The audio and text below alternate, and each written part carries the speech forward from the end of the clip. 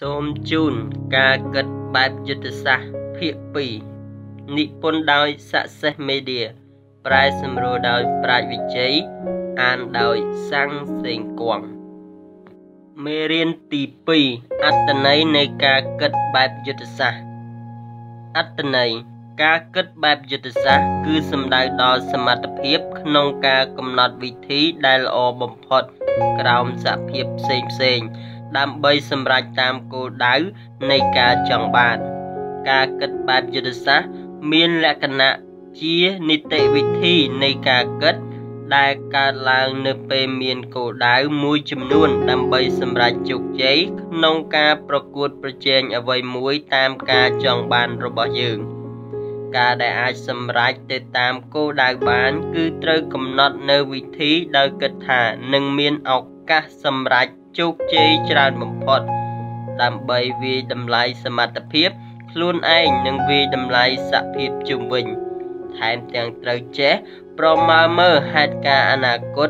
ដែលនឹងកើតឡើង ហើយត្រូវកំណត់យកយុទ្ធសាស្ត្រដើម្បីសម្រេចបានតាមគោលដៅដែលកំណត់ទុកនោះ។ដំណើរការនៃយុទ្ធវិធី គឺត្រូវតែយល់អំពីធាតុពិតនៃពិភពលោក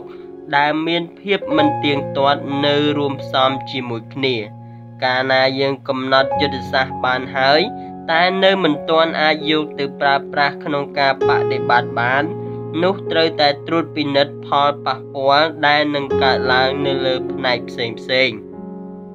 ជាបន្ទាន់ហើយត្រូវជ្រើសរើសយកយុទ្ធសាស្ត្រណាដែលយើងគិតថាអាចនឹងគ្រប់គ្រងបានច្រើនដើម្បីទប់ទល់នឹងរឿងដែលកើតឡើងក្នុងអនាគតការគិតបែបយុទ្ធសាស្ត្រមានលក្ខណៈបត់បែនអថេប្រែប្រួលទៅតាមស្ថានភាពផ្សេងផ្សេងគ្នា ការត្រៀមខ្លួនរួចជាស្រេចនឹងជួយឲ្យយើងអាចសម្របខ្លួនតាមការផ្លាស់ប្ដូរបានយ៉ាងឆាប់រហ័ស ដោយព្យាយាមប្រកាន់នៅគោលដៅខ្ពស់បំផុត ដែលធ្វើឲ្យមានឱកាសសម្រេចជោគជ័យបានច្រើនជាងមនុស្សដែលប្រាក់ចាស់ការគិតបែបយុទ្ធសាស្ត្រចូលមើលរូបភាពការគិតបែបយុទ្ធសាស្ត្រក្នុងជីវិតប្រចាំថ្ងៃគឺជាការតាក់ទងនឹងនីតិវិធីនៃការគិតក្នុងការដោះស្រាយបញ្ហា problem solving ការសម្រេចចិត្តនិងការរៀបចំគម្រោងអ្នកដែលពូកែគិតបែបយុទ្ធសាស្ត្រអាចនឹងរកនៅវិធីដែលល្អបំផុតមកប្រើប្រាស់និងអាចសម្រេចតាមគោលដៅដែលបានកំណត់ទុកច្រើនជាងមនុស្សដែលអសមត្ថភាពក្នុងការគិតបែបយុទ្ធសាស្ត្រ ព្រោះអាចសម្រេចចិត្តជ្រើសរើសវិធីដែលសមរម្យជាមួយនឹងសភាពផ្សេងផ្សេងដែលនឹងប្រឈមនៅថ្ងៃអនាគតនិងហេតុការណ៍ដែលកើតឡើងចំពោះមុខដោយចេះប្រើប្រាស់ប្រយោជន៍ពីពេលវេលា ទីកន្លែងនិងស្ថានភាពដែលផ្លាស់ប្ដូរការគិតបែបយុទ្ធសាស្ត្រជាការគិតសម្ដៅឆ្ពោះទៅកាន់ភាពជោគជ័យដោយប្រើវិធីសាស្ត្រនិងសិល្បៈក្នុងការរៀបគម្រោង ឬចាត់ការហេតុការផ្សេងផ្សេងបានយ៉ាងល្អការប្រើវិធីសាស្ត្រគឺជាគោលការណ៍នៃការរៀបគម្រោងជាដំណាក់កាលដែលអាចផ្ទេរនិងបង្រៀនគ្នាបានប៉ុន្តែខណៈជាមួយគ្នានេះការប្រើសិល្បៈគឺខុសគ្នាទៅតាមសមត្ថភាពក្នុងការគិតបែបយុទ្ធសាស្ត្ររបស់បុគ្គលម្នាក់ម្នាក់ដោយដឹងថាពេលណាស្ថានភាពណានិង គួរតែជ្រើសរើសយុទ្ធសាស្ត្របែបណាយកមកប្រើការគិតបែបយុទ្ធសាស្ត្រចាត់ជាការគិតដែលមានសិល្បៈនៃការតស៊ូច្រើនបំផុតប្រសិនបើធៀបទៅនឹងការគិតដទៃទៀតនិងជាការគិតដែលត្រូវបញ្ចេញធម៌ពលនៃគំនិតដូចជាការគិតបែបវិលុកនិងគិតបែបទប់ទល់ក្នុងការកិច្ចវេះពីឧបសគ្គ ការដោះស្រាយបញ្ហា និងឆក់ឱកាសពីក្របខ័ណ្ឌដែលមាន ដើម្បីសម្រេចនូវជោគជ័យតាមគោលដៅដែលបានកំណត់ទុកទើបការគិតបែបយុទ្ធសាស្ត្រគឺជារឿងដែលត្រូវវឹកហាត់ជានិច្ចនិងប្រតិបត្តិដោយយកចិត្តទុកដាក់បំផុតដើម្បីសម្រេចគោលដៅដែលចង់បាន បច្ច័យដែលផ្ដល់នូវភាពជោគជ័យនៃការគិតបែបយុទ្ធសាស្ត្រ យើងអាចនឹងគិតបែបយុទ្ធសាស្ត្រប្រកបដោយជោគជ័យបាន ប្រសិនបើមានអង្គប្រកបទាំង3នេះ ភាពច្បាស់លាស់នៃការសន្មត់ចាប់តាំងពីពេញវ័យមកខួរក្បាលនឹងអភិវឌ្ឍសមត្ថភាពក្នុងការគិតរកហេតុផលនៃភាពដែលអាចទៅរួច possibility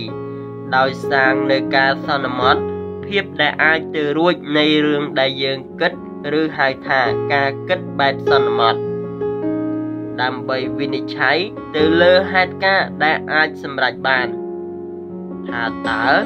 ក្រោយមកនឹងមានអ្វីកើតឡើង ដែលជាការគិតបែបប្រសិនបើបែបនេះចុចចុចចុចដូច្នេះនឹងកើតចុចចុចចុច if then ក្នុងការសន្មត់លើរឿងផ្សេងផ្សេង ដែលកើតពីការសន្សំឡើងដោយបទពិសោធន៍ចំណេះដឹង ដែលតាក់ទងនឹងពិភពលោក ជីវិតជំនឿជាការចង្អុលបង្ហាញសមត្ថភាពក្នុងការប៉ានប្រមាណរឿងនោះថាតើមានភាពច្បាស់លាស់តិចឬច្រើនប៉ុណ្ណា ដោយខួរក្បាលនឹងគិតត្រឡប់ទៅមកយ៉ាងឆាប់រហ័សរវាងរឿងដែលជារូបីការពិត និងរឿងដែលជាអរូបីដើម្បីស្វែងរកជំរើសផ្សេងផ្សេងនៃរឿងដែលគួរកើតឡើង និងដើម្បីប្រៀបធៀបរឿងដែលយើងសង្កេតមើលឃើញនឹងរឿងដែលយើងជឿជាក់ថានឹងអាចទៅរួចចូលមើលរូបភាពសមត្ថភាពក្នុងការគិតតាមរយៈការសន្មត់គឺជាឧបករណ៍ដែលមានកម្លាំងខ្លាំងបំផុតព្រោះអាចនឹងធ្វើឲ្យរៀបគម្រោងទុកមុន អាចមើលឃើញលទ្ធផលដែលកើតឡើងបានប្រសិនបើធ្វើបែបនោះហើយនឹងអាចណែនាំនៅជំរើសថ្មីថ្មីក្នុងការអធិប្បាយហេតុការណ៍ដែលកើតឡើងរឿងទាំងនេះគឺអាស្រ័យលើសមត្ថភាពក្នុងការសន្មត់ការគិតបែបសន្មត់នឹងមានផលដល់ព្រឹត្តិកម្មរបស់យើងដូចជា ជួយឲ្យមានការរៀបគម្រោងទុកមុន ជឿលើរឿងដែលយកចិត្តគេមកដាក់ចិត្តយើង ហើយអាចគិតបានយ៉ាងច្បាស់លើរឿងដែលអ្នកដតីគិត ឬមានអារម្មណ៍នឹងអាចប្រាប់បានថាតើអ្នកដតីកំពុងគិតយ៉ាងដូចម្ដេចការគិតបែបសន្មត់មានតួនាទីសំខាន់ចំពោះការសម្រេចចិត្ត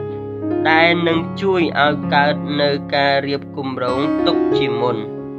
និងបានប្រមាណលទ្ធផល ប្រសិនបើជ្រើសរើសវិធីមួយទៀតដូចជា ប្រសិនបើអ្នកត្រូវចុះបំពេញបេសកកម្មតាមខេត្តអ្នកត្រូវឈប់ធ្វើនៅរឿងដែលកំពុងធ្វើអ្នកដែលមានសមត្ថភាពក្នុងការគិតបែបយុទ្ធសាស្ត្រអាចដោះស្រាយបញ្ហាបាននិងមានការសម្រេចបានជោគជ័យច្រើនជាង ប្រសិនបើការសន្មត់នោះ ត្រឹមត្រូវតាមរឿងដែលបានកំណត់ទុកឧទាហរណ៍ខណៈដែលលោកគ្រូថាណុងកំពុងចូលជួទិញសម្បត្តិចូលមើលការតាំងពិព័រណ៍គាត់បានងាកទៅមើលការសម្ដែងដែលនៅក្បែរនោះមួយស្របក់លុះគាត់ងាកមកវិញស្រាប់តែគាត់ឈរឃ្លាតពីជួរប្រហែល2ម៉ែត្រនិងមានបុរសម្នាក់ឈរពីមុខគាត់ទៅហើយ ខណៈនោះគាត់គិតថាបុរសម្នាក់នេះមិនគួរធ្វើបែបនេះទេ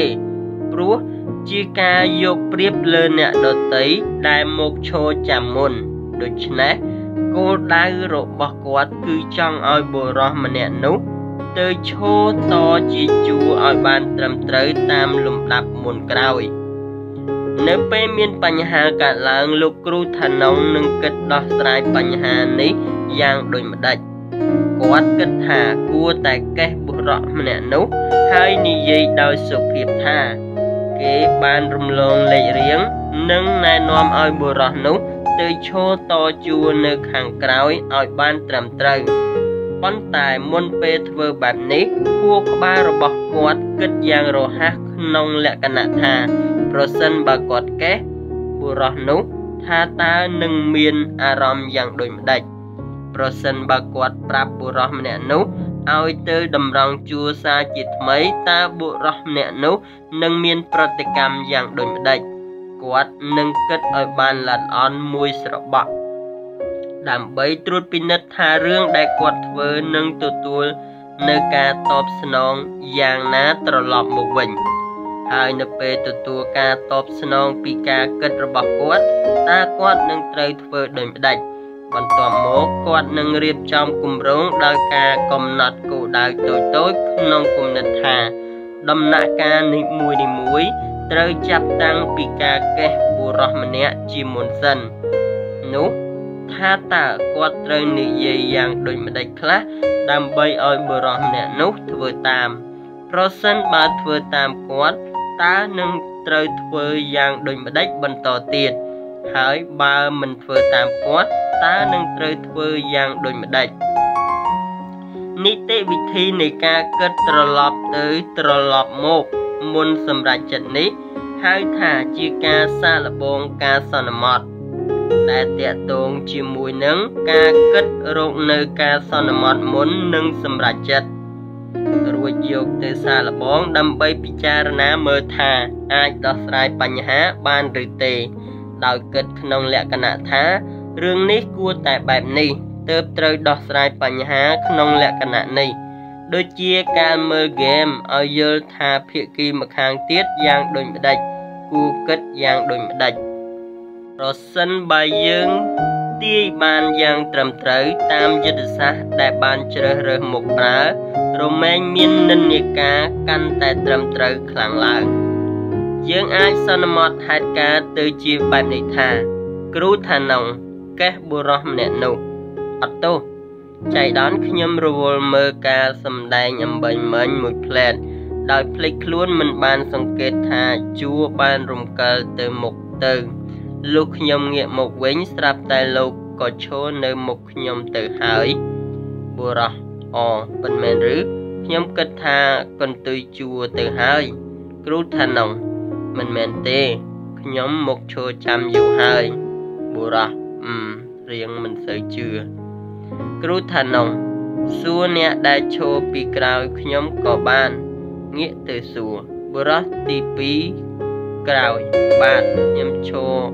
តជួពីក្រោយគាត់យូរហើយបុរសអូខេខ្ញុំទៅចូលជួនៅខាងក្រោយក៏បានដែរ តាមឧទាហរណ៍នៃការដោះស្រាយបញ្ហារបស់លោកគ្រូថាណុងគាត់ត្រូវសន្មត់ក្នុងចិត្តថា មនុស្សភាគច្រើនរមែងមិនចង់ឲ្យគេថាខ្លួនជាមនុស្សខុសហើយនិយាយការពារខ្លួនភ្លាមនោះទេដូច្នេះមិនត្រូវប្រើនៅវិធីដែលសម្ដែងចេញពីការចោទប្រកាន់គេទេ ក្រៅពីនេះអាចសន្មត់បានថាមនុស្សទូទៅ នឹងឆ្លើយតបចំពោះពាក្យសម្ដីដែលមានអរិយាបថសុភាពរាបសារ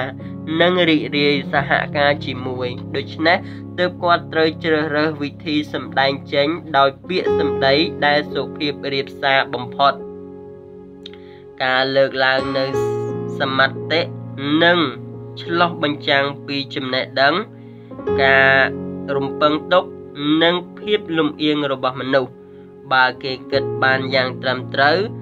នោះមានន័យថាការសាកល្បងនៃការសន្មត់អាចយកមកប្រើជាប្រយោជន៍ដើម្បីដោះស្រាយបញ្ហាបាន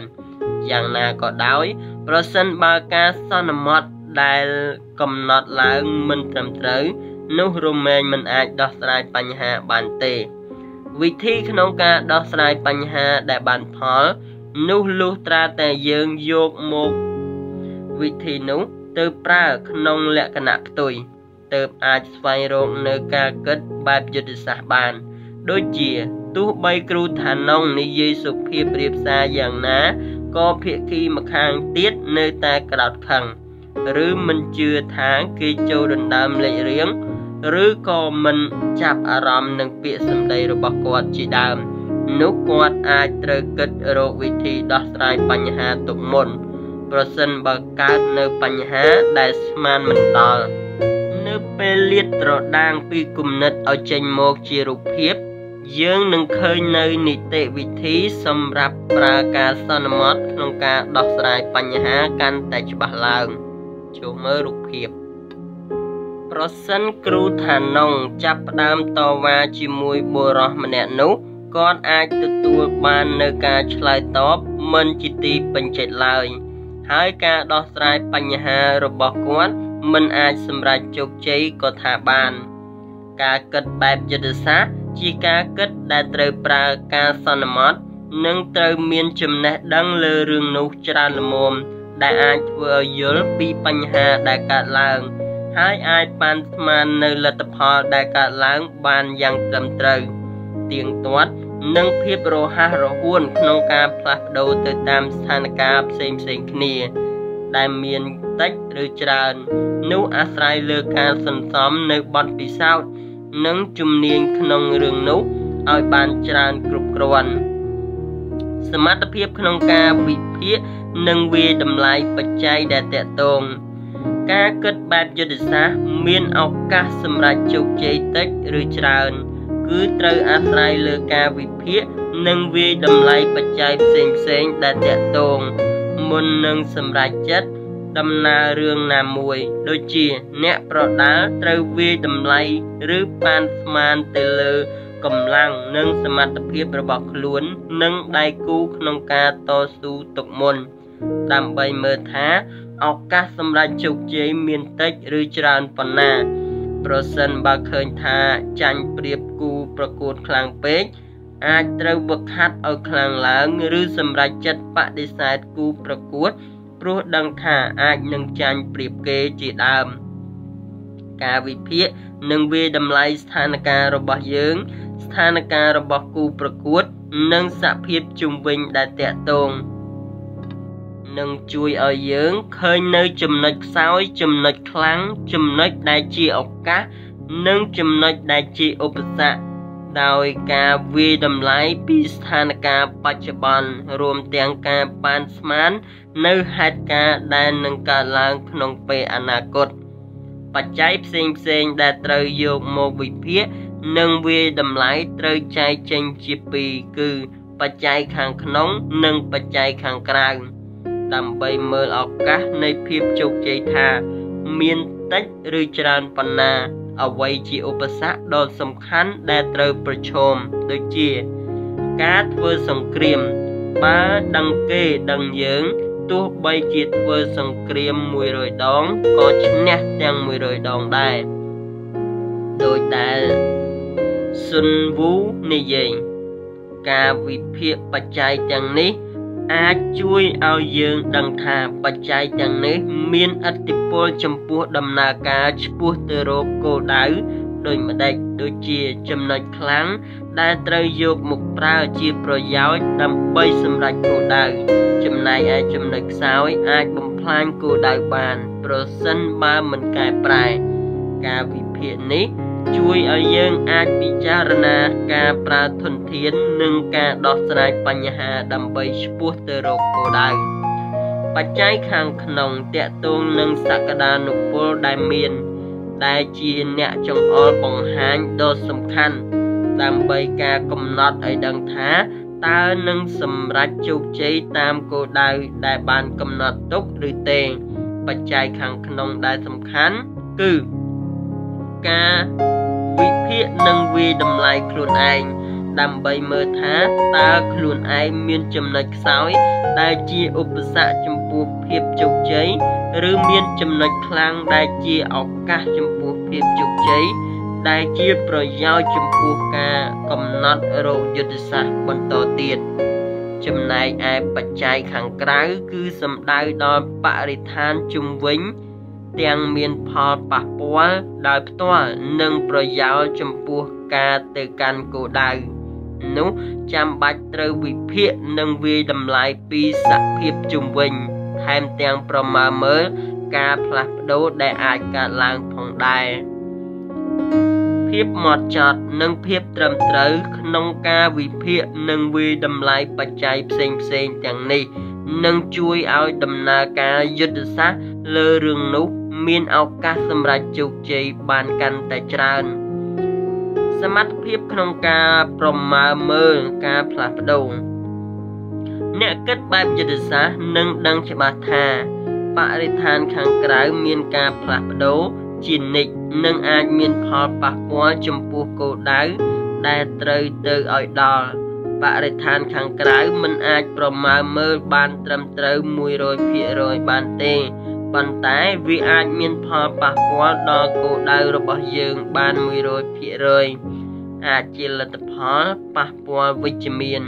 ជាឱកាសនាំឲ្យយើងទៅកាន់គោលដៅឬអាចជាផលប៉ះពាល់អវិជ្ជមាន ជាឧបសគ្គដល់គោលដៅក៏ថាបាន ដូច្នេះទើបចាំបាច់ត្រូវវិភាគនិងប្រមើលមើលនៅរូបភាពដែលអាចទៅរួចនៃបរិស្ថានជុំវិញក្នុងអនាគតតាមផ្លូវឆ្ពោះទៅរកគោលដៅជានិច្ចភាពមិនទៀងទាត់នៃអនាគតនឹងធ្វើឲ្យអ្នកគិតបែបយុទ្ធសាស្ត្រคล้ายជាអ្នកព្យាករណ៍ដ៏ចំណានថា តើអ្វីនឹងកើតឡើងក្នុងអនាគតនិងរឿងដែលកើតឡើងនោះ មានផលប៉ះពាល់ចំពោះគោលដៅដែលកំណត់ទុកហើយប្រសិនបើដោយការព្យាករណ៍មែនថាតើត្រូវសម្របខ្លួនយ៉ាងដូចម្ដេចដោយសារតែអនាគតនៃភាពទៀងទាត់គឺភាពមិនទៀងទាត់ទើបអ្នកគិតបែបយុទ្ធសាស្ត្រចាំបាច់ត្រូវជាអ្នកព្យាករណ៍ក្នុងលក្ខណៈត្រៀមនៅជំរើស ឬសាងនៅជំរើសជាច្រើនសម្រាប់ឱកាសដែលអាចកើតឡើងក្នុងអនាគតជានិច្ចចូលមើលរូបភាព សមត្ថភាពក្នុងការកំណត់គោលដៅការគិតបែបយុទ្ធសាស្ត្រកើតឡើងនៅពេលកំណត់គោលដៅឬចំណុចនៃភាពជោគជ័យដែលយើងប្រាថ្នាទៅឲ្យដល់ឧទាហរណ៍គោលដៅនៃការដោះស្រាយបញ្ហា គឺការធ្វើឲ្យបញ្ហាអស់ទៅដោយឆ្ពោះទៅរកសភាពដែលប្រាថ្នាចង់បានគោលដៅនៃការសម្រេចចិត្តគឺធ្វើឲ្យខ្លួនឯងបាននៅរឿងដែលល្អបំផុតក្រោមលក្ខខណ្ឌកំណត់ផ្សេងផ្សេងគោលដៅនៃការរៀបគម្រោង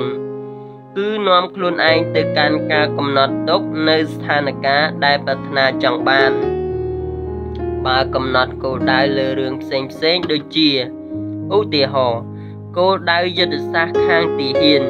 គឺជាការយកឈ្នះគូប្រយុទ្ធដោយពិចារណាថាតើនឹងយកឈ្នះដោយរបៀបណាគោលដៅយុទ្ធសាស្ត្រក្នុងការចរចាខាងជំនួញបរទេសដើម្បីសម្រេចគោលដៅគឺត្រូវឲ្យប្រទេសនីមួយៗមានប្រៀបជាងគ្នាខាងពាណិជ្ជកម្មគោលដៅយុទ្ធសាស្ត្រខាងធុរកិច្ចណាមួយ និងមានដំណើរការដើម្បីឲ្យខ្លួនមានប្រៀបលើគូប្រកួតប្រជែងនិងក្នុងទីផ្សារបានគោលដៅយុទ្ធសាស្ត្រក្នុងការលេងហ្គេមគឺដើម្បីទទួលបាននៅជ័យជំនះគោលដៅយុទ្ធសាស្ត្រក្នុងការរស់នៅ គឺជាការសម្រេចជោគជ័យតាមការតាំងចិត្តរបស់ខ្លួនគោលដៅនៃរឿងដែលត្រូវប្រើការគិតបែបយុទ្ធសាស្ត្រ មិនមែនត្រឹមតែជាគោលដៅដែលត្រូវទៅដល់ដោយងាយស្រួល ដោយមិនមានឧបសគ្គនោះទេប៉ុន្តែវាជាគោលដៅដែលនៅឆ្ងាយ ឬនៅក្នុងដំណើរនៃការគិតដែលយើងត្រូវរកនៅវិធីបដិបត្តិដើម្បីឲ្យកើតឡើងនៅលក្ខណៈពិតប្រាកដជាគោលដៅដែលត្រូវវិភាគនិងវាតម្លៃស្ថានភាពរួមទាំងប៉ានស្មានលទ្ធផលទុកមុនថានឹង តើអាចទៅរួចឬទេគោលដៅសម្រាប់ការគិតបែបយុទ្ធសាស្ត្រមិនមែនដូចជាការឡើងជណ្ដើរពីជាន់ទី1ទៅជាន់ទី2នោះទេព្រោះការឡើងកម្មជណ្ដើរនេះវាងាយណាស់ប៉ុន្តែវាអាចប្រៀបបានទៅនឹងការដើរព្រៃឬឡើងលើភ្នំខ្ពស់ដែលត្រូវជ្រើសរើសផ្លូវថាតើត្រូវដើរផ្លូវណា ទើបជាផ្លូវដែលត្រឹមត្រូវត្រូវធ្វើដំណើរយូរប៉ុណ្ណាត្រូវត្រៀមឧបករណ៍អ្វី នៅតាមផ្លូវនិងជួបឧបសគ្គឬបញ្ហាអ្វីខ្លះអាចជួបនឹងរឿងដែលស្មានមិនដល់អ្វីខ្លះនិងត្រូវត្រៀមខ្លួនដូចម្ដេចសម្រាប់ទប់ទល់នឹងបញ្ហាដែលនៅចំពោះមុខដើម្បីយកជ័យជំនះបាន ត្រូវទៅឲ្យដល់គោលដៅតូចតូច តាមផ្លូវជាមុនសិនប្រសិនបើគោលដៅតូចតូចសម្រាប់ជោគជ័យហើយគោលដៅធំក៏រមែងសម្រាប់ជោគជ័យដែរចូលមើលរូបភាពក្រៅពីនេះការកំណត់គោលដៅមានភាពសំខាន់បំផុតចំពោះការរកនៅយុទ្ធសាស្ត្រដើម្បីដោះស្រាយបញ្ហាតែមួយបានលុះត្រាតែមនុស្សម្នាក់ម្នាក់ អាចកំណត់គោលដៅនៃការដោះស្រាយបញ្ហាខុសៗគ្នា ដែលឈានទៅការជ្រើសរើសនៅយុទ្ធសាស្ត្រក្នុងការដោះស្រាយបញ្ហាខុសៗគ្នានោះ ការកំណត់គោលដៅ គឺជាការចង្អុលឲ្យឃើញនៅសមត្ថភាព ក្នុងការដោះស្រាយបញ្ហាដែលផ្សេងផ្សេងគ្នា តែមានអ្នកជោគជ័យហើយក៏មានអ្នកបរាជ័យដែរមិនមែនសិតតែទទួលបាននៅភាពជោគជ័យ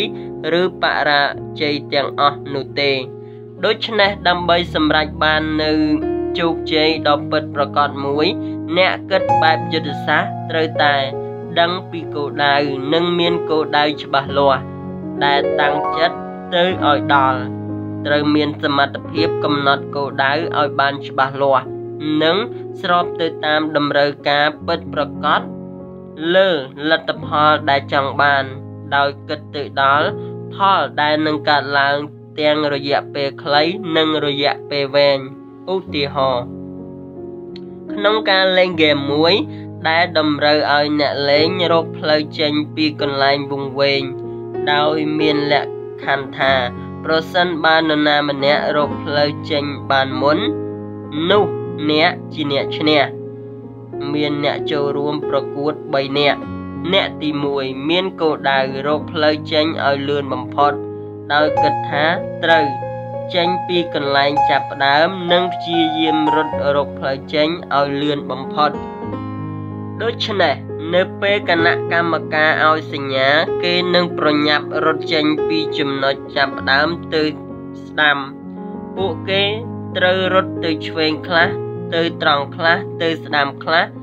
ទៅតាមផ្លូវដែលឃើញថាអាចទៅបានលុះដល់ពេលជួបផ្លូវទាល់ក៏ប្រញាប់រត់ត្រឡប់មកវិញភ្លាម ដោយសារតែវិធីនេះធ្វើឲ្យគេរត់ត្រឡប់វិលទៅវិលមកនៅកន្លែងដើមជាច្រើនដងទើបធ្វើឲ្យពួកគេខំប្រើការព្យាយាមកាន់តែខ្លាំងឡើង ដោយខំប្រឹងរត់ ឲ្យលឿនបំផុត និងព្យាយាមចងចាំថារត់ទៅផ្លូវណារួចហើយខ្លះដើម្បីកុំឲ្យរត់នៅកន្លែងដើមប៉ុន្តែនៅតែមិនអាចសម្រេចជោគជ័យបាន គេត្រូវនៅក្នុងកន្លែងវង្វេងនោះយូរទម្រាំតែរកផ្លូវចេញបានដោយចៃដន្យអ្នកទី2មានគោលដៅរកផ្លូវចេញឲ្យលឿនបំផុតដូចគ្នាខណៈ ជាមួយគ្នាក៏មានគោលដៅដោះស្រាយបញ្ហាចំពោះមុខទៅព្រមព្រមគ្នាដែរដែលធ្វើឲ្យវិធីដោះស្រាយបញ្ហាខុសពីអ្នកទី1ខ្លះដោយនៅពេលរត់ទៅដល់ផ្លូវទាល់នឹងធ្វើសញ្ញាទុកដើម្បីអាចជួយសំចៃពេលវេលាកុំឲ្យត្រឡប់មកកន្លែងដើមវិញ ដែលជាវិធីអាចស្វែងរកផ្លូវចេញលឿនជាងអ្នកទី1អ្នកទី3មានគោលដៅពីរយ៉ាងគឺ ដឹងផ្លូវដែលនឹងត្រូវទៅមុន ហើយរកផ្លូវចេញឲ្យលឿនបំផុតដូច្នេះក្រោយពេលដែលគណៈកម្មការប្រាប់ឲ្យចាប់ផ្ដើមរត់ទៅមុខគេបែរជារត់ចេញទៅខាងក្រោយខាងក្រៅទៅយកកៅអីក្រដាស់ និងបិចនឹងឡើងលើកៅអីហើយវាឡើងជញ្ជាំងដើម្បីឲ្យឃើញផ្លូវទាំងអស់តាំងពីចាប់ផ្ដើមរហូតដល់ផ្លូវចេញ គេបានគូសផ្លូវថាតើនឹងត្រូវរត់យ៉ាងដូចម្ដេចទើបមិនជួបនឹងផ្លូវទាល់គេប្រញាប់កត់យ៉ាងរហ័សដោយមិនចាប់អារម្មណ៍ថាតើ អ្នកពីរអ្នកដំបងបានចាប់ផ្ដើមរត់ដល់ណាហើយនោះទេ នៅពេលកត់រួចហើយទើបចុះមកវិញ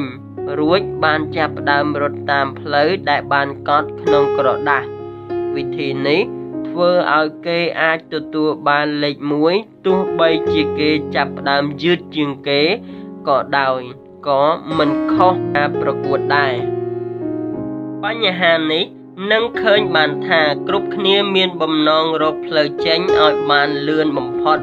ប៉ុន្តែមនុស្សម្នាក់ម្នាក់ត្រូវកំណត់គោលដៅខុសៗគ្នា ហើយប្រើយុទ្ធសាស្ត្រក៏ខុសគ្នាដែរ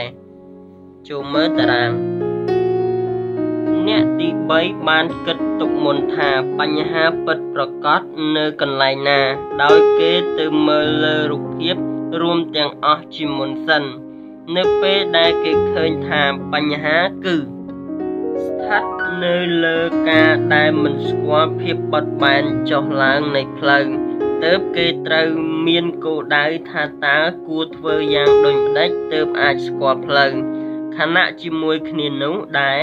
គេក៏ត្រូវប្រើពេលវេលាតិចបំផុតផងដែរទើបត្រូវធ្វើដោយប្រញាប់ដើម្បីស្វែងរកវិធីនៃការស្គាល់ផ្លូវបាន ការកំណត់គោលដៅឲ្យស្គាល់ផ្លូវមុនរមែងតែល្អជាងការរត់ទៅតែម្ដងព្រោះអាចធ្វើឲ្យដឹងថាឧបសគ្គនៅត្រង់ណាឱកាសនៅត្រង់ណានិងមិនធ្វើឲ្យរាំងស្ទះនៅពេលជួបបញ្ហាចំពោះមុខយ៉ាងណាក៏ដោយក្នុងការលេងហ្គេមពិតប្រាកដក៏ត្រូវមានកតិកាដែលតឹងរឹងជាងនេះដែរការធ្វើដូច ខាងលើអាចខុសកតិកា តែល្បែងនេះគ្រាន់តែជាការប្រៀបធៀបដែលចង់បង្ហាញឲ្យឃើញថា មនុស្សភាគច្រើនតែងតែមិនបានប្រើពេលវេលាក្នុងការគិតពិចារណាមុននិងចាប់ផ្ដើមធ្វើអ្វីមួយ ជាពិសេសនៅពេលបញ្ហានោះមានលក្ខខណ្ឌមួយចំនួនមកពាក់ព័ន្ធដូចជាពេលវេលាកំណត់ចង់ឈ្នះឲ្យបានលេខ1ជាដើម រឿងទាំងនេះធ្វើឲ្យមានការភ័យខ្លាចហើយគិតថាកាន់តែចាប់ផ្ដើមរហ័សប៉ុណ្ណាឱកាសនៃការសម្រេចជោគជ័យកាន់តែច្រើនឡើងប៉ុណ្ណោះដែរទៅការដោះស្រាយបញ្ហាជាការធ្វើប្រៀបព្រាវព្រាវទោះបីដឹងថាមានបញ្ហានៅខាងមុខក៏ដោយផ្ទុយទៅវិញ មនុស្សដែលមានសមត្ថភាពក្នុងការគិតបែបយុទ្ធសាស្ត្រនិងប្រើគោលការណ៍តក់តក់ពេញបំពង់នៅពេលចាប់ផ្ដើមដំបូងដើម្បីរកផ្លូវដោះស្រាយបញ្ហាដែលខ្លួនជឿជាក់ថានឹងបានផលច្រើនបំផុតមុនដំណើរការរឿងណាមួយ អ្នកគិតបែបចិត្តសាស្ត្រនឹងផ្ដល់ភាពសំខាន់លើការកំណត់គោលដៅ ទាំងគោលដៅចុងក្រោយ ដែលជាគោលដៅសម្រេចនិងគោលដៅតូចតូច ដែលជាគោលដៅត្រូវដោះស្រាយតាមផ្លូវដោយមិនប្រកាន់យកតែគោលដៅតែមួយនោះទេ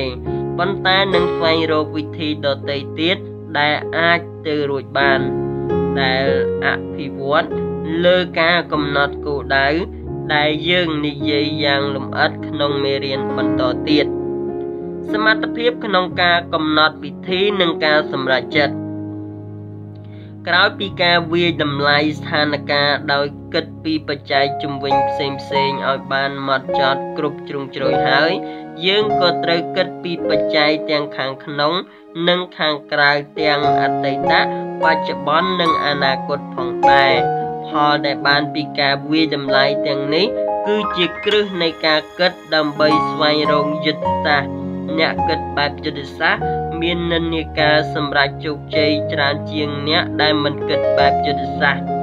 ការព្យាយាមស្វែងរកយុទ្ធសាស្ត្រអាចប្រើការគិតបែបច្នៃប្រឌិតចូលមកជួយក្នុងការប្រមូលផ្ដុំគំនិតដើម្បីបាននៅជំរើសដែលប្លែកថ្មីជាច្រើន បន្ទាប់មកទើបយកមកវិភាគវាតម្លៃចំណុចល្អអាក្រក់ម្ដងមួយម្ដងមួយ ដោយពិចារណា លើភាពសមរម្យលក្ខខណ្ឌនិងដែនកំណត់ នៅពេលយកទៅប្រើពិតប្រកបថាតើនឹងផ្ដល់ផលយ៉ាងដូចម្ដេចខ្លះនិងចាំបាច់ត្រូវសម្រេចចិត្តជ្រើសរើសវិធីណាមួយឲ្យបានម៉ត់ចត់និងល្អបំផុតក្នុងស្ថានភាពទាំងនោះការគិតបែបចិត្តសាស្ត្រតាក់ទងនឹងសមត្ថភាពក្នុងការសម្រេចចិត្ត ការសម្រេចចិត្តជ្រើសរើសយុទ្ធសាស្ត្រត្រូវតែផ្ដោតទម្ងន់ទៅលើផ្នែកល្អផ្នែកមិនល្អនៃជំរើសដែលខុសគ្នាជាច្រើន ហើយត្រូវជ្រើសរើសវិធីដែលសមរម្យបំផុត ដើម្បីសម្រេចតាមគោលដៅណាមួយ តាមការចង់បាន ដែលការសម្រេចចិត្តនឹងមានលក្ខណៈជីវ័តដោយចាប់ផ្ដើមតាំងពីការកំណត់ក្របខ័ណ្ឌ នៃចំណុចដែលនឹងដំណើរការការវិភាគស្ថានភាពបច្ចុប្បន្នការជ្រើសរើសវិធីជាច្រើននិងវិភាគវិធីផ្សេងផ្សេងហើយពិចារណានៅជំរើសនីមួយៗថាតើមានផ្នែកដែលល្អឬមិនល្អយ៉ាងដូចម្ដេចរួចជ្រើសរើសវិធីណាដែលឃើញថាល្អបំផុតចូលមើលរូបភាព សមត្ថភាពនៃការគិតក្នុងការសម្រេចចិត្តជ្រើសរើសវិធីដ៏ល្អបំផុត ដែលក្រោមស្ថានភាពផ្សេងផ្សេងនឹងឆ្លោះបញ្ចាំងពីសតិបញ្ញា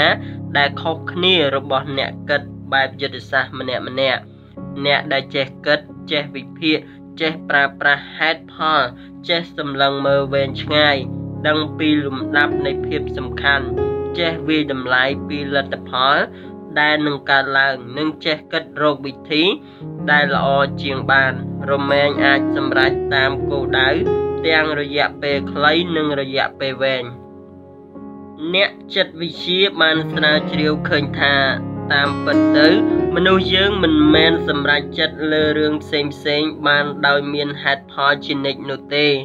គឺភាកច្រើនមនុស្សយើងមាននិន្នាការសម្រេចចិត្តទៅតាមការពេញចិត្តរបស់ខ្លួន ដោយអារម្មណ៍ច្រើនជាងហេតុផលព្រោះមនុស្សយើងមានសមត្ថភាពក្នុងការប្រើហេតុផលមានដែនកំណត់ មនុស្សយើងមិនមែនសុទ្ធតែជាអ្នកដែលសម្រេចចិត្តបានល្អគ្រប់ពេលនោះទេ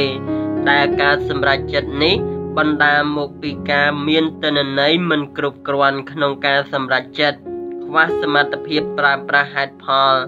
បណ្ដោយតាមអារម្មណ៍ខ្លាំងពេក ងាយទទួលនៅជំរើសដំបូងភ្លាម ដោយមិនគិតដល់ជំរើសដទៃទៀតដែលអាចល្អជាង មិនបានពិចារណាជំរើសដែលអាចទៅរួចនិងតែងតែគិតថារបស់នេះល្អជាង ខាតបង់តិចជាង មានប្រយោជន៍ជាង ដោយការប្រើប្រាស់មូលដ្ឋាននាំការកំណត់ឡើងតាមការពេញចិត្តដោយខ្លួនឯងឧទាហរណ៍ដូចជាការជ្រើសរើស ទិញរថយន្តយើងអាចមិនបានមើលរថយន្តគ្រប់ម៉ូដគ្រប់ស៊េរីក្នុងទីផ្សារទេប៉ុន្តែយើងអាចជ្រើសរើសចំពោះម៉ាកស៊េរីពណ៌និងគុណសម្បត្តិផ្សេងផ្សេងដែលយើងពេញចិត្តបានឬជ្រើសរើសមនុស្សដែលយើងស្រឡាញ់ពេញចិត្តរៀបការជាមួយព្រោះគេមានគុណសម្បត្តិតាមការចង់បាន ដូចជាប្រសិនបើរឿងដែលយើងសម្រេចចិត្តជ្រើសរើសមិនទៅតាមមាត្រដ្ឋានដែលបានកំណត់ទុកឲ្យបានច្បាស់លាស់ទេ នោះរមែងមានការមិនពេញចិត្តកើតឡើង អ្នកដែលមានសមត្ថភាពក្នុងការគិតបែបយុទ្ធសាស្ត្រតែងតែខុសគ្នាពីអ្នកដែលសម្រេចចិត្តលើរឿងផ្សេងផ្សេងដោយមិនមានយុទ្ធសាស្ត្រភាពខុសគ្នានោះ នៅត្រង់ថាអ្នកមានសមត្ថភាពក្នុងការគិតបែបយុទ្ធសាស្ត្រគឺជាអ្នកដែលមានសមត្ថភាពក្នុងការដោះស្រាយនៅបញ្ហាបានយ៉ាងល្អិតល្អន់មិនប្រញាប់សម្រេចចិត្តមាននីតិវិធីក្នុងការជ្រើសរើសទិន្នន័យនៅពេលសម្រេចចិត្តនឹងនឹកដល់ការពេញចិត្តដែលនឹងបានទទួលពីជំរើសផ្សេងផ្សេងខណៈជាមួយគ្នានោះដែរ អ្នកគិតបែបយុទ្ធសាស្ត្រនឹងគិតដល់លទ្ធផលដែលរំពឹងទុកថាតើមានតិចឬច្រើនប៉ុណ្ណា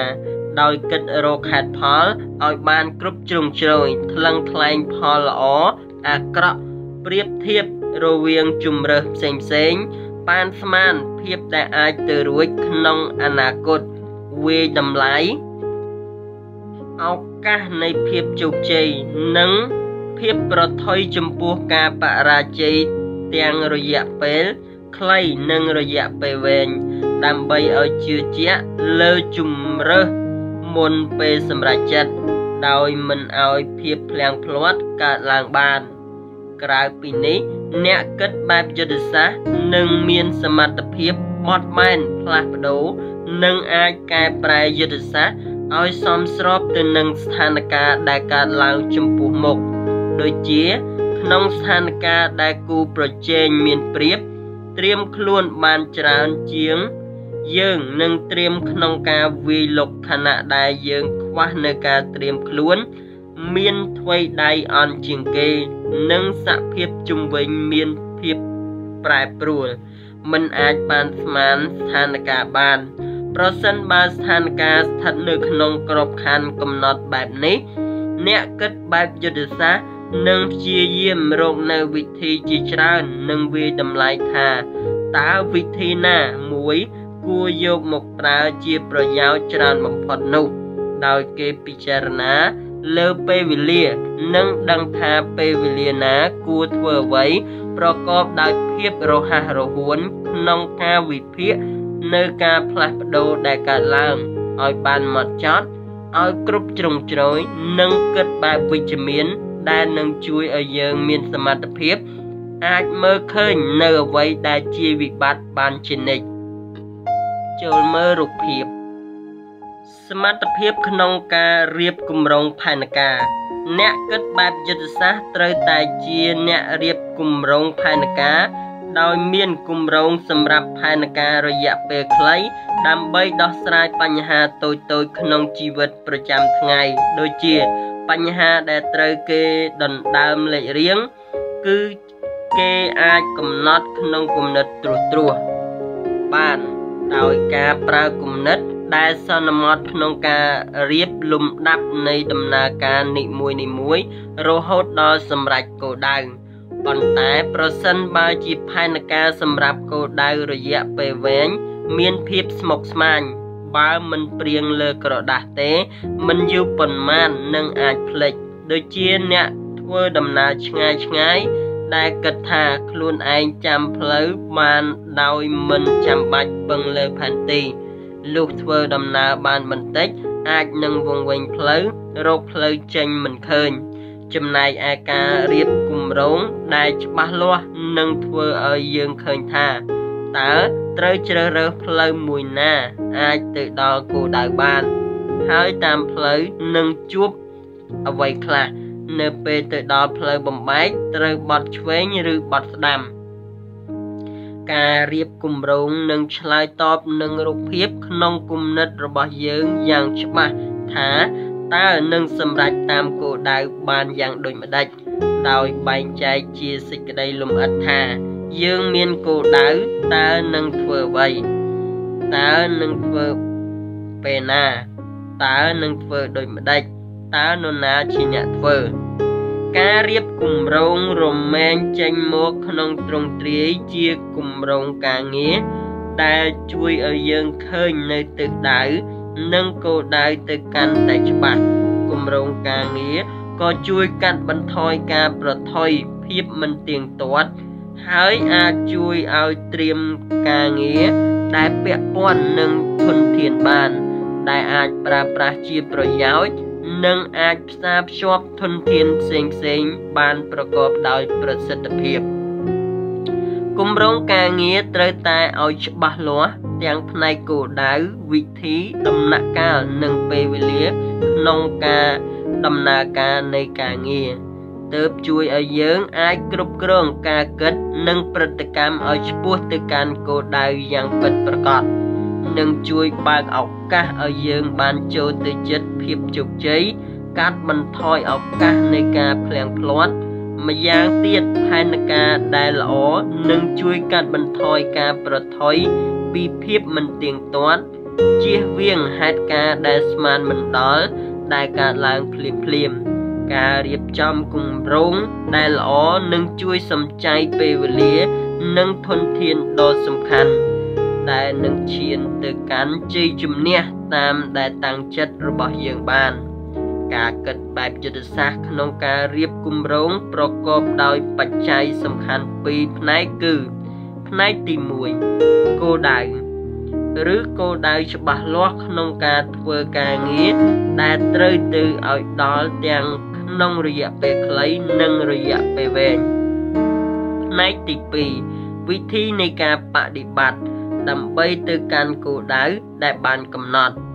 ក្រៅពីនេះផែនការយុទ្ធសាស្ត្រដែលល្អមិនគួរមានត្រឹមតែផែនការតែមួយប៉ុណ្ណោះទេ គួរតែជាគម្រោងផែនការដែលត្រៀមទុកឲ្យបានច្រើនដើម្បី ត្រៀមទប់ទល់ហេតុការណ៍ដែលអាចកើតឡើងតាមការដែលយើងគិតទុកអ្នកគិតបែបចិត្តសាស្ត្រត្រូវជាអ្នករៀបគម្រោងផែនការដែលម៉ត់ចត់និងបត់បែនជានិច្ចដើម្បីត្រៀមរួចជាស្រេចសម្រាប់ស្ថានភាពផ្សេងផ្សេងដែលនឹងកើតឡើងក្នុងដំណើរការគោលដៅរបស់យើងគំរូឧទាហរណ៍ដំណាក់កាលនៃការគិតបែបយុទ្ធសាស្ត្រការគិតបែបយុទ្ធសាស្ត្រ អាចរៀបតាមលំដាប់នៃការគិតដូចតទៅនេះ ដំណាក់កាលទី1កំណត់គោលដៅដែលចង់ទៅដល់ដំណាក់កាលទី2វិភាគនិងវាយតម្លៃស្ថានភាពដំណាក់កាលទី3ជ្រើសរើសយុទ្ធសាស្ត្រដំណាក់កាលទី4រៀបគម្រោងប្រតិបត្តិការ ដំណាក់កាលទី5រៀបគម្រោងដែលដូចគ្នា2ដំណាក់កាលទី6 ការសាកល្បងក្នុងស្ថានភាពដែលធ្វើតម្រាប់តាមស្ថានភាពពិតដំណាក់កាលទី7ការចាប់ផ្ដើមប្រតិបត្តិដំណាក់កាលទី8ការវាយតម្លៃលទ្ធផល ក្នុងរយៈដំបូងការរៀបគម្រោងយុទ្ធសាស្ត្រត្រូវកំណត់តែនៅក្នុងក្រុមអ្នកដឹកនាំប្រទេស និងមេបញ្ជាការទីហ៊ានប៉ុណ្ណោះគឺសំដៅទៅលើការវាយលុក និងការធ្វើសង្គ្រាមជាគោលមនុស្សក្រុមនេះជាអ្នករៀបគម្រោងផែនការក្នុងការធ្វើសង្គ្រាមទាំងយុទ្ធសាស្ត្រវាយលុកក្នុងការពង្រីកអធិបុលលើអាណាចក្រដតីនិងយុទ្ធសាស្ត្រទប់ទល់ក្នុងការការពារសត្រូវវាយលុកប្រទេសណាមានគម្រោងយុទ្ធសាស្ត្រល្អជាង ប្រទេសនោះរមែងនាំមុខនៅជ័យជំនះ អំណាចនិងភាពអស្ចារ្យលើសគេ ដំណើរការយុទ្ធសាស្ត្រខាងទីហ៊ាន គឺដើម្បីយកឈ្នះសត្រូវ ប្រឆាំងនឹងការវាយលុករបស់សត្រូវអ្នករៀបចំគម្រោងយុទ្ធសាស្ត្រចាំបាច់ត្រូវយកនៅអង្គប្រកបជាច្រើនចូលមករួមគ្នា ក្នុងការពិចារណាផងដែរមានដូចជា ការមានប្រៀបឬចាញ់ប្រៀបផ្នែកភូមិសាស្ត្រនិងពេលវេលា ការវាយតម្លៃកម្លាំងទ័ពនិងអាវុធយុទ្ធភ័ណ្ឌរបស់ខ្លួននិងសត្រូវសមត្ថភាពក្នុងការការពារខ្លួន មិនឲ្យគេវាយលុកដោយមិនបានត្រៀមខ្លួន ភាពរឹងមាំនិងការយកចិត្តទុកដាក់របស់កងទ័ពការដឹងមុនពីសក្តានុពលនិងការចាប់អារម្មណ៍របស់សត្រូវ ការស្វែងរកនៅឱកាសក្នុងការវាយលុកសត្រូវយុទ្ធសាស្ត្រក្នុងការពង្រាយកងទ័ពការទប់ទល់នឹងការប្រឆាំងពីខាងក្នុងនិងខាងក្រៅប្រទេសឡាក្រៅពីនេះយុទ្ធសាស្ត្រនៅតែជារឿងដ៏សំខាន់ក្នុងការរុញច្រានផែនការ ដែលបានរៀបគម្រោងទុកព្រោះអាចមានឱកាសប្រឈមមុខជាមួយនឹងហេតុការណ៍ ដែលមិនទៀងទាត់ឬមិនច្បាស់លាស់ថានឹងកើតឡើងឬហេតុការណ៍ជាច្រើនដែលគិតមិនដល់ដូចជាការស្ទាក់វាយលុករបស់សត្រូវ ការដាក់អន្ទាក់ឬសភាពអាកាសធាតុភូមិសាស្ត្រដែលជាឧបសគ្គដូចជាភ្លៀងធ្លាក់ខ្លាំងជាឧបសគ្គដល់ការធ្វើដំណើរនិងទឹកភ្នំហូរចុះ មកភ្លាមភ្លាមជាដើមឧបសគ្គទាំងនេះប្រសិនបើអ្នករៀបគម្រោងចិត្តសាស្ត្រអាចស្មាននិងដឹងហេតុការណ៍មុននិងត្រៀមរួចជាស្រេចដើម្បីទប់ទល់បានភ្លាមភ្លាមនោះនឹងមានឱកាសទទួលជ័យជំនះរហូតអាចនិយាយបានថាសិល្បៈរបស់អ្នករៀបគម្រោងចិត្តសាស្ត្រខាងទីហ៊ាន គឺជាសមត្ថភាពក្នុងការកណនាការប្រថុយប្រឋាន ដើម្បីឲ្យបាននៅជ័យជំនះយើងអាចសរសេរគម្រោងព្រៀងនៃការរៀបយុទ្ធសាស្ត្របានដូចជា1កំណត់គោលដៅក្នុងការច្បាំង1ការវាយលុកសត្រូវ2ការកំទេចសត្រូវ3ការការពារខ្លួន2ការវាយតម្លៃស្ថានភាព 2.1ការវាយតម្លៃកម្លាំងខ្លួនឯងចំណុចខ្សោយ និងចំណុចខ្លាំងការវាយតម្លៃចំណុចខ្សោយ ចំណុចខ្លាំងរបស់កងទ័ពភាពមានព្រៀបចាញ់ព្រៀបផ្នែកភូមិសាស្ត្រពេលវេលានិងសមត្ថភាពក្នុងការការពារខ្លួនឯងមិនឲ្យសត្រូវវាយលុកដោយមិនដឹងខ្លួនសមត្ថភាពរបស់កងទ័ព ការរួមតបជាច្រើនការសហការនិងឯកភាពក្នុងការបញ្ជា ដែលច្បាស់លាស់យល់បានភ្លាមភ្លាមសក្តានុពលកងទ័ពលៈ2.2ការវាយតម្លៃកម្លាំងរបស់សត្រូវចំណុចខ្លាំងចំណុចខ្សោយការវាយតម្លៃចំណុចខ្លាំងចំណុចខ្សោយរបស់សត្រូវ ការវាយតម្លៃកម្លាំងកងទ័ពនិងអាវុធយុទ្ធភ័ណ្ឌរបស់ខ្លួននិងសត្រូវការដឹងមុនពីសក្តានុពលនិងការចាប់អារម្មណ៍របស់សត្រូវលក្ខ2.3ការប៉ាន់ស្មានឱកាសនិងការប្រថុយប្រឋានឱកាសទទួលជ័យជំនះការប្រថុយដែលធ្វើឲ្យបរាជ័យការវាយបករបស់សត្រូវស្ថានភាពដែលអាចកើតឡើងដោយស្មានមិនដល់ ឱកាសនៃការលោបវាឆ្មាក់របស់សត្រូវឱកាសនៃការខុសភ្លាត់របស់ផែនការដែលរៀបគម្រោងទុក3ការកំណត់យុទ្ធសាស្ត្រយុទ្ធសាស្ត្រក្នុងការលើកទ័ពនិងពង្រៀងទ័ពឱកាសក្នុងការវាយឆ្មាក់សត្រូវគម្រោងវាយឆ្មាក់ភ្លាមភ្លាមដើម្បីឲ្យភាគីម្ខាងទៀតត្រៀមខ្លួនមិនទាន់និងរក្សាមូលដ្ឋានទ័ពឲ្យគង់វង្ស យុទ្ធសាស្ត្រកិច្ចពីសត្រូវឡា4ការវឹកហាត់ក្នុងស្ថានភាពចម្លងតាមស្ថានភាពពិត ការវឹកហាត់វិលុកនិងការកិច្ចពីសត្រូវ ការវឹកហាត់ពីស្ថានភាពដែលស្មានមិនដល់ជាច្រើន បើស្ថានភាពទៅជាបែបនោះនឹងទប់ទល់ចុចចុចចុចដូចម្ដេចបើស្ថានភាពមិនទៅជាបែបនោះនឹងទប់ទល់ដូចម្ដេច ការសាងនៅស្ថានភាពចម្លងហេតុការណ៍ដូចគ្នាពីរបើសត្រូវមានប្រតិកម្មតបនឹងរបៀប A ត្រូវតែប្រើយុទ្ធសាស្ត្រ A បើសត្រូវមានប្រតិកម្មតបនឹងរបៀប B ត្រូវតែប្រើយុទ្ធសាស្ត្រ B ក្នុងការវាយបកទៅវិញជាដើម5ការប្រតិបត្តិក្នុងស្ថានភាពពិត សមត្ថភាពក្នុងប្រតិកម្មដែលឆ្លើយតបនឹងស្ថានភាពសមត្ថភាពក្នុងការដោះស្រាយបញ្ហាចំពោះមុខប្រតិកម្មតបនៅពេលប្រឈមមុខនឹងហេតុការណ៍ដែលស្មានមិនដល់6ការពិចារណាឡើងវិញនិងកែប្រែគម្រោងយុទ្ធសាស្ត្រដើម្បីឲ្យសមរម្យទៅនឹងស្ថានភាពពិតពិចារណាឡើងវិញនៅគម្រោងការងារជានិច្ច វាតម្លៃស្ថានភាពនិងកំណត់ផែនការដែលដូចគ្នា តាមផ្លូវរហូតដល់គោលដៅដំណើរការរបស់គម្រោងត្រូវមានភាពបត់បែននិងត្រៀមរួចជាស្រេចសម្រាប់ផ្លាស់ប្ដូរភ្លាមៗនៅពេលដែលគម្រោងចាស់ប្រើមិនបានផលចូលមើលរូបភាព គោលការណ៍នៃការរៀបគម្រោងយុទ្ធសាស្ត្រក្នុងអតីតកាលត្រូវបានយកមកបំផ្លែងប្រើក្នុងបរិបទនៃការគ្រប់គ្រងធុរកិច្ចដែលគេហៅថាការគ្រប់គ្រងបែបយុទ្ធសាស្ត្រ Strategic Management ដោយទាញយកនៅគោលការណ៍សំខាន់ដែលប្រើក្នុងការតស៊ូជាមួយនឹងសត្រូវមកប្រើជាមួយការប្រពួតប្រជែងខាងធុរកិច្ច ដើម្បីឲ្យមានប្រៀបក្នុងការប្រកួតប្រជែងការរៀបគម្រោងយុទ្ធសាស្ត្រជារឿងដែលសំខាន់ខ្លាំងណាស់ចំពោះភាពជោគជ័យក្នុងអនាគតរបស់អង្គភាពអង្គភាពធុរកិច្ចជាច្រើនត្រូវបរាជ័យព្រោះខ្វះការរៀបគម្រោងយុទ្ធសាស្ត្រហើយខណៈជាមួយគ្នានោះដែរ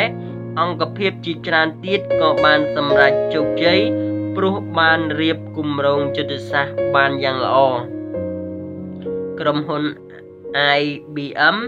បានចាត់ជាគំរូដ៏ល្អដែលក្នុងអតីតកាល IBM ចាត់ជាម្ចាស់យុទ្ធសាស្ត្រកម្មវិធីកុំព្យូទ័រប្រព័ន្ធ mainframe ហើយប្រឹងប្រែងអភិវឌ្ឍប្រព័ន្ធនេះតទៅទៀតដោយគិតថាប្រព័ន្ធនេះមានឱកាសរីកចម្រើនបានល្អជាងកុំព្យូទ័រផ្ទាល់ខ្លួន personal computer PC ថែមទាំងបានកំណត់តម្លៃកុំព្យូទ័រថ្លៃជាងគូប្រជែងដោយសារតែខ្លួនមាននៅបច្ចេកវិទ្យាល្អជាងគូប្រជែងប៉ុន្តែលទ្ធផលដែលចេញមកបែរជាផ្ទុយនឹងទិសដៅនៃការរីកចម្រើនរបស់កុំព្យូទ័រប្រព័ន្ធ PC យ៉ាងខ្លាំងទៅវិញគូប្រជែងរបស់ IBM បានសង្កត់ធ្ងន់ទៅលើយុទ្ធសាស្ត្រ ផ្នែកតម្លៃគឺតម្លៃទាបដែលធ្វើឲ្យ IBM បានបាត់បង់អតិថិជនជាច្រើន ដែលជាហេតុធ្វើឲ្យ IBM ធ្លាក់ចុះយ៉ាងឆាប់រហ័សផ្ទុយទៅវិញ នៅពេលប្រៀបធៀបជាមួយក្រុមហ៊ុន Microsoft គូប្រជែងដ៏សំខាន់របស់ IBM បែរជាមើលអនាគតបានច្បាស់ជាងទៅវិញ ដោយមើលថា ការរីកចម្រើននៃទីផ្សារកុំព្យូទ័រនៅក្នុងអនាគតនឹងទៅលើ software មិនមែន hardware ទេ ហើយកុំព្យូទ័រនឹងត្រូវអភិវឌ្ឍទៅជាការផលិត ដែលមានចំនួនច្រើន mass product ទើបអ្នកគ្រប់គ្រង Microsoft សម្រេចចិត្តកំណត់យុទ្ធសាស្ត្រដែលសង្កត់ធ្ងន់ទៅលើការអភិវឌ្ឍ software ជាគោលដៅដើម្បីឆ្លើយតប